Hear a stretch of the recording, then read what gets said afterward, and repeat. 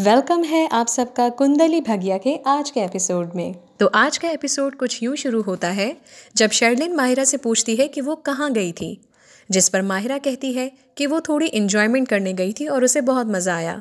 ये कहकर वो बैठ जाती है। इतने में वहाँ से करण और ऋषभ भी हॉल में दाखिल होते हैं और उन दोनों को आता देखकर शेरलिन और माहिरा बहुत हैरान होती हैं। दादी ये कहते हुए जाती है कि वो राखी को फ़ोन करके बुलाती हैं, क्योंकि उसे कथा सुनना बहुत पसंद है।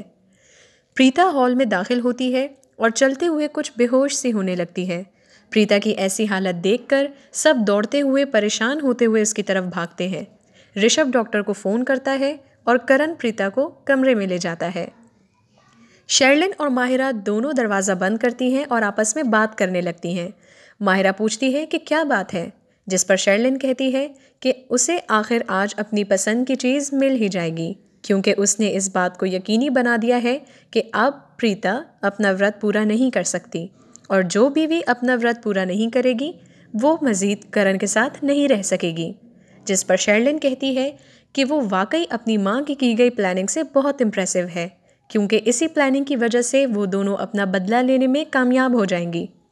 माहिरा कहती है कि उन्होंने प्रीता से मुकाबला करने की कोशिश की थी, लेकिन वो हमेशा जीत जाती थी। लेकिन अब रमोना उनके साथ है, लिहाजा इस प्लानिंग में जीत इन्हीं की होगी। शर्लिन ये भी कहती है कि लड्डू में जहर मिलाते वक्त वो बहुत परेशान हो गई थी, क्योंकि वो लड्डू उसे उसकी माँ ने ला के दिया था।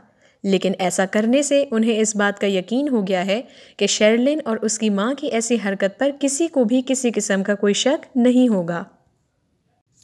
वहाँ दूसरी तरफ़ डॉक्टर कमरे में प्रीता का चेकअप कर रही होती हैं, जिस पर वो बताती हैं कि प्रीता के जहर प्रीता को किसी किस्म का जहर दिया गया है, जिसका असर उसके पूरे जिसम में आहिस्ता आहिस्ता फैल रहा है। ये सब सुनकर सब बहुत परेशान हो जाते हैं। डॉक्टर प्रीता से अपनी तबीयत और अपनी सेहत का ख़ास ख्याल रखने को कहती है, जिस पे प्रीता कहती है कि उसने व्रत रखा है, लिहाजा वो कुछ नहीं खा सकती। डॉक्टर प्रीता से कहती है कि वो उसके व्रत का और उसकी बाकी चीज़ों का बहुत एहतराम करती है, लेकिन अपनी तबीयत को लेकर उसे कुछ खाना ज़रूर पड़ेगा। डॉक्टर प्रीता से कहती हैं कि अगर वो किसी किस्म का ख्याल नहीं रखेगी और ऐसा करने में लापरवाही करेगी तो जहर आहिस्ता आहिस्ता पूरे जिसम में फैल कर उसे तबाह कर देगा, जिस पर प्रीता हॉस्पिटल जाने से भी मना कर देती है। तो डॉक्टर कहती है कि वो इसे यहीं इंजेक्शन लगा देंगी जिसकी वजह से वो बहुत पुरसकून और बेहतर महसूस करेगी। ये सारी बातें सुनकर करीना थोड़ा गुस्सा हो जाती है और हर बात का इल्ज़ाम प्रीता को देती है। वो कहती है कि मुझे समझ नहीं आता कि तुम आखिर ऐसे प्रिटेंड क्यों करती हो? ऐसा कहते हुए वो कमरे से निकल जाती है।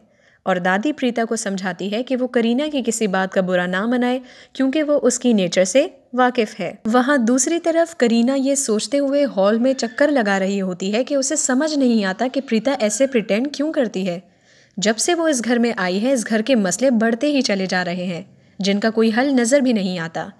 वहाँ दूसरी तरफ़ माहिरा शेरलिन के साथ कमरे से बाहर आती है और आकर पूछती है कि क्या बात है।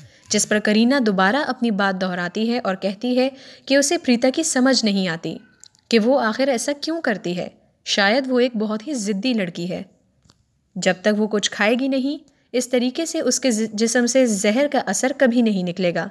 शर्लिन कहती है कि प्रीता सिर्फ़ ये साबित की, करने की कोशिश कर रही है कि वो करण की बीवी है, जबकि इस बात को कोई सच नहीं मानता।